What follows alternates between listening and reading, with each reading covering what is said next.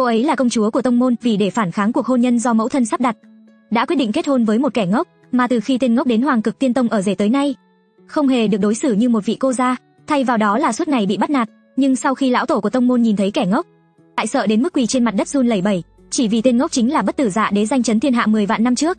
Ngay cả lúc trước lão tổ cũng bái phục môn hạ của anh, nhưng về sau Dạ Huyền lại bị thê tử và đồ đệ mưu đồ ám hại, khiến cho linh hồn ngủ say 9 vạn năm, mà Dạ Huyền mất đi mệnh hồn đã biến thành tên ngốc.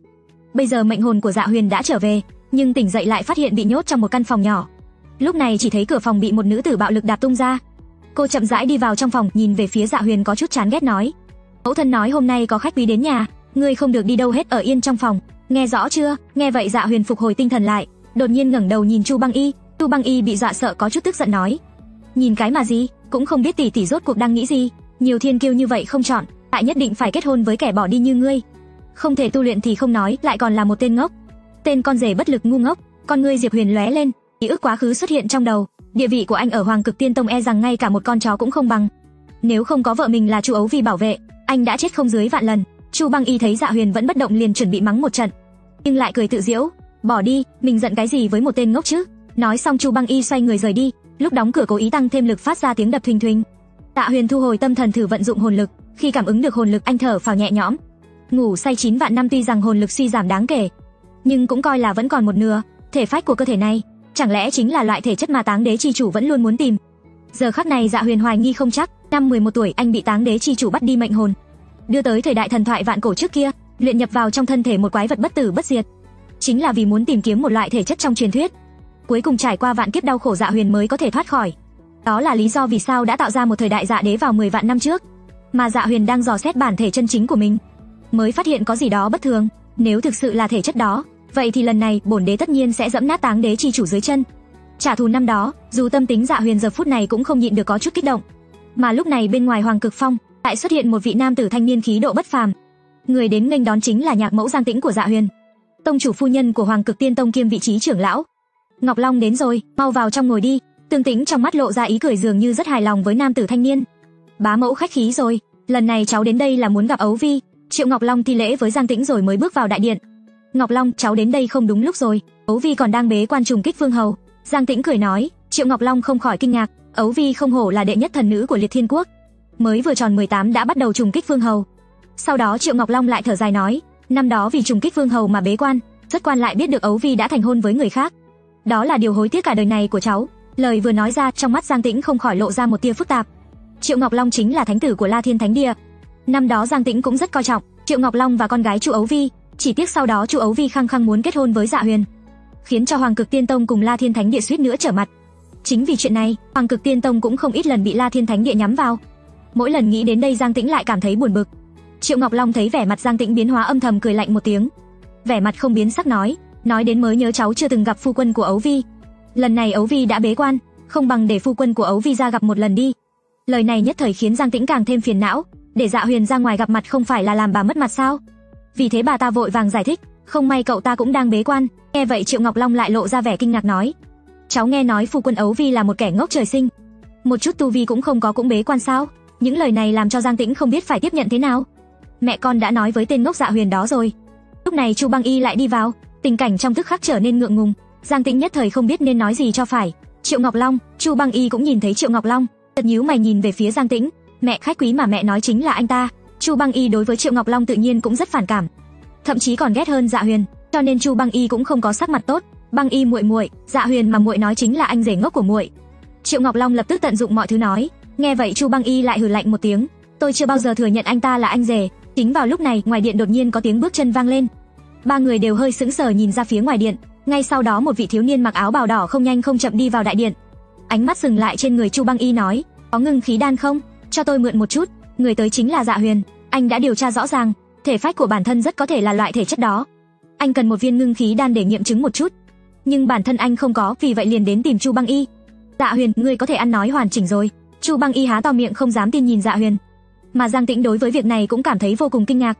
Vị này chính là phu quân Dạ Huyền của Ấu Vi. Triệu Ngọc Long lộ ra một tia cười lạnh thản nhiên đứng dậy đi về phía Dạ Huyền. Không phải bảo cậu ta hôm nay đừng ra ngoài sao? Giang Tĩnh vô cùng bất mãn truyền âm cho Chu Băng Y con đã nói với lỗ bá bá rồi chu băng y lúc này cũng cảm thấy khó hiểu sau khi cô rời đi còn đặc biệt bảo lỗ bá bá trông coi dạ huyền chỉ thấy Triệu Ngọc Long giờ phút này đã đi tới trước mặt Diệp Tuyền.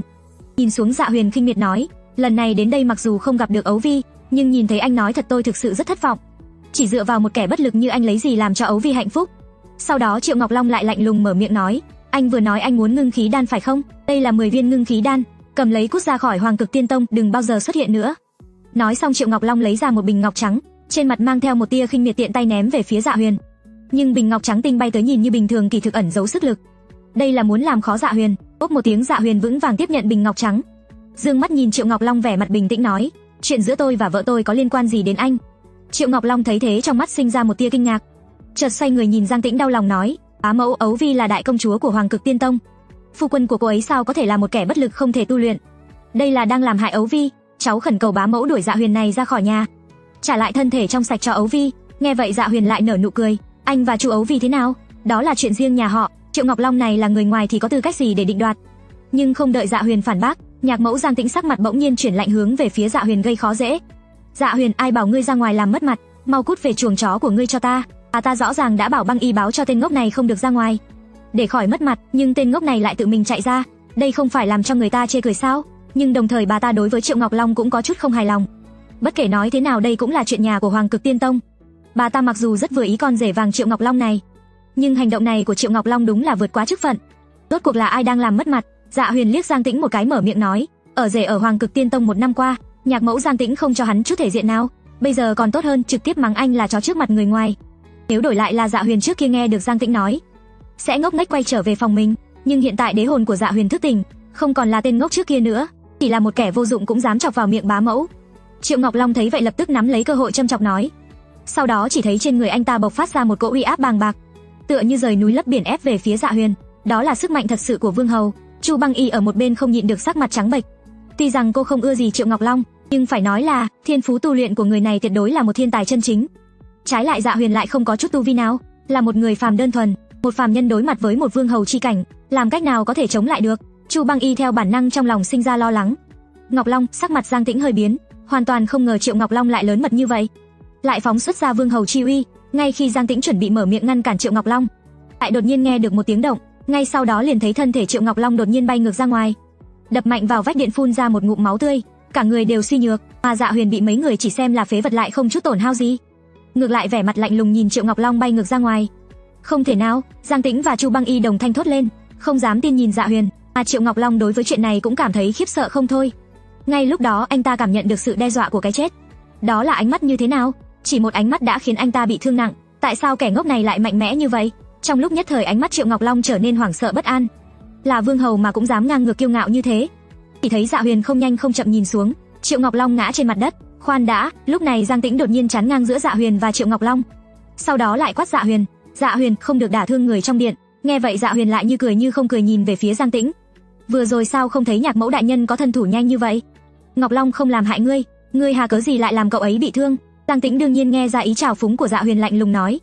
Ý của Nhạc Mẫu đại nhân là, tôi phải đứng để Triệu Ngọc Long đánh bị thương mới có thể đánh trả, phải không? Cách làm này của Giang Tĩnh quả thực khiến Dạ Huyền cảm thấy có chút ghê tởm. Nếu không phải anh hồn về bản thể, chỉ sợ người ngã xuống không phải Triệu Ngọc Long mà là anh. Bình thường Dạ Huyền ở Hoàng Cực Tiên Tông kiêu ngạo như vậy sao? Triệu Ngọc Long giờ phút này đã bình tĩnh lại, anh ta có chút chật vật đứng dậy, ánh mắt hung ác nói. Nghe vậy Giang Tĩnh nhìn Dạ Huyền sắc mặt càng thêm lạnh lùng. Nếu trong mắt ngươi còn có nhạc mẫu như ta, vậy thì cút ra ngoài cho ta. Mà Dạ Huyền cũng không chút sợ hãi nhìn thẳng Giang Tĩnh. Nếu như tôi không thì sao? Nhất thời không khí trong đại điện đột nhiên trở nên nghiêm trọng. Trưởng lão, chuyện lớn rồi. Nhưng đúng lúc này, một ông lão đột nhiên từ ngoài điện vội vã đi vào. Ông lão lặng lẽ liếc Dạ Huyền một cái, hơi sửng sốt thầm nghĩ, sao tên ngốc này lại ở đây? Không phải là ở trong phòng sao? Có chuyện gì vậy, Lỗ Bá Bá? Chu Băng Y ở bên cạnh vội vàng hỏi. Ông lão thu lại ánh mắt vẻ mặt nghiêm nghị nói, vừa mới nhận được tin đại công chúa bế quan xảy ra chuyện.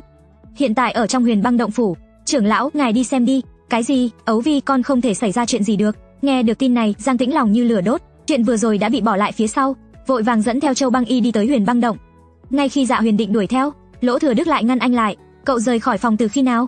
Ông đoán xem, Dạ Huyền đối với chuyện này lạnh nhạt cười một tiếng, sau đó trong mắt hiện lên một đạo phù văn quỷ dị. Chỉ thấy thân thể Lỗ Thừa Đức đột nhiên cứng đờ, trong đôi mắt cũng hiện lên một đạo phù văn quỷ dị. Ngay sau đó Lỗ Thừa Đức cung kính thấp giọng nói với Dạ Huyền, "Chủ nhân, mời." Sau khi ra khỏi đại điện, sắc mặt Dạ Huyền trở nên tái nhợt. Trong lòng cũng thầm suy tư, thân thể này của ta mặc dù có thể là đạo thể, nhưng cuối cùng không có tu vi, liên tục vận dụng hồn lực đối với thân thể là gánh nặng rất lớn. vẫn là phải nhanh chóng tăng tu vi lên mới được. Sau đó khi Dạ Huyền chạy tới Huyền Băng động phủ, đã thấy Giang Tĩnh đứng bên giường, vẻ mặt vô cùng nghiêm trọng. Còn Chu Băng Y thì ngồi một bên, trên mặt đầy nước mắt, thỉnh thoảng nhìn về phía nữ tử trên giường kia. Lúc này một vị lão nhân áo bào trắng nhìn về phía Giang Tĩnh thở dài nói: "Giang sư muội khó mà lạc quan được, ấu vi vốn thuộc về Huyền Băng chi thể, trong cơ thể lại xuất hiện lực liệt dương hình thành nên hỏa độc. Cho dù có giữ được mạng sống của Vi, một thân tu vi cũng sẽ hoàn toàn tiêu tán." Cái gì? Lời vừa nói ra, sắc mặt Giang Tĩnh trở nên trắng bệch. Trong lòng hoảng hốt đến tột cùng, thần nữ Chu Ấu Vi danh chấn thiên thượng quốc lại trở thành phế nhân. Điều này Giang Tĩnh làm sao có thể chấp nhận được? Ngô sư huynh, huynh là lục đỉnh luyện dược sư, nhất định có thể giữ được tu vi của Ấu Vi, đúng không?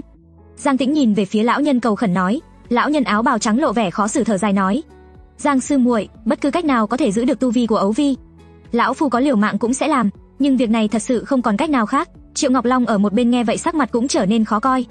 Mặc dù anh ta có tình cảm với Chu Ấu Vi, nhưng nếu tu vi của Chu Ấu Vi bị phế hết, vậy thì chẳng còn giá trị gì để nói rồi. Nhưng lúc này Dạ Huyền lại chậm rãi mở miệng nói, rõ ràng là kết hợp của Huyền Băng chi thể cùng Liệt Dương chi thể.